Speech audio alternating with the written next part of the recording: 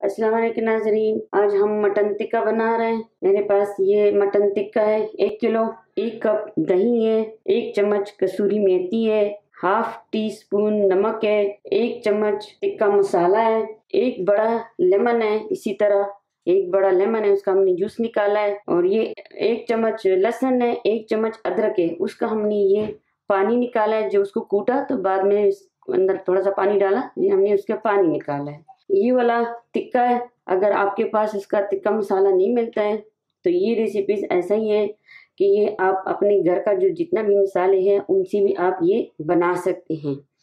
इसका तरकीब ये है कि ये तकरीबन एक घंटे से ज़्यादा रखोगे मेरीनेशन करके। अगर एक घंटे से ज़्यादा नहीं रखोगे तो मैं आप, अभी से बताती हूँ कि ये मटन टिक्का आपका सख्त रहेंगे।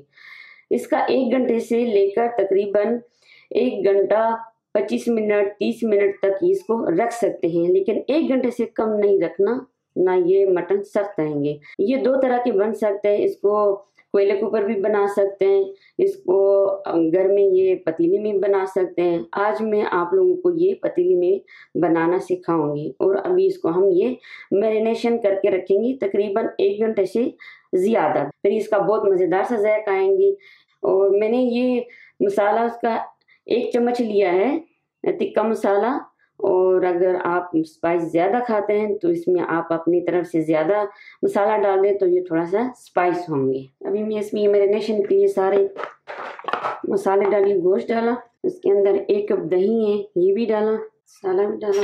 नमक मैंने टी स्पून लिए, इसलिए कम लिए कि इसमें लेमन भी है, इसके अंदर दही भी अगर नमक ज़्यादा डालोगे ना तो ये टिक्का खराब हो जाएँगे। ये मैंने टीस्पून, एक टीस्पून लिया है। ये अदरक, लहसन का एक चम्मच, ये पानी है निकाला है, जूस वो भी डाला और ये इसके अंदर ये लेमन है, एक मैंने बड़ा वाला जो जूस निकाला है, ये भी डाला है।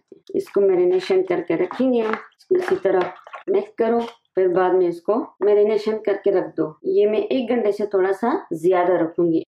अभी हम तैयारी कर रहे हैं ये मटन टिक्के का पकाने का। सबसे पहले मैं घी डाल रही हूँ। थोड़ा सा गर्म हो जाएँगे। ये जो मैरिनेशन किया हुआ है, मटन टिक्का, ये अभी इसके अंदर डालेंगे। मैरिनेशन किया। फ्रिज में रखा हुआ था। इसके ऊपर पाँच मिनट के लिए ढक्कन रखूँगी। चूल्हा थोड़ा सा आहिस्ता रखूँगी। मटन का टिक्का तैयार हो गया। ये जब घी गर्म हो गया, फिर मैंने इसके अंदर घी के अंदर डाला। ये जो बैटर में वो बनाया था।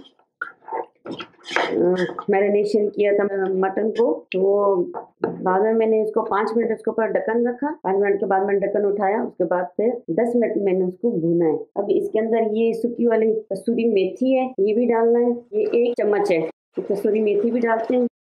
मेथी के बाद ऐसे एक दो मिनट भूनो, ताकि खुशबू आए। हमारा डिश बिल्कुल तैयार हो गया। अभी मैं इसको प्लेट में डाल रही हूँ। नजरीन, हमारा मटन टिक्का तैयार हो गया, बहुत मज़ेदार सा, बहुत आसान सा रेसिपीज़ है। आज हमने ये आप लोग को पतीले में सिखाया कि मटन टिक्का किस तरह बनता है। इनशाला अगली दफ़ा हम फिर आप लोग को, वो जो आग के ऊपर बनता है कोयले के ऊपर, फिर वो भी सिखाऊँगी घर के अंदर। इतना नरम है तो आप लोग भी इसी तरह कर दें। बहुत मज़ेदार सा जायका भी आ रहा है, कलर भी आया हुआ है। अगर मेरा वीडियो आप लोग को पसंद आया हो तो ज़रूरी मेरे चैनल को सब्सक्राइब कर दे और लाइक कर दे।